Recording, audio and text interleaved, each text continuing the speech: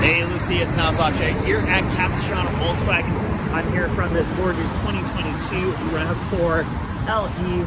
When you'd like to come in, give me a call, 951-440-6566. I'm happy to show you this car in person and take it out on a quick test drive.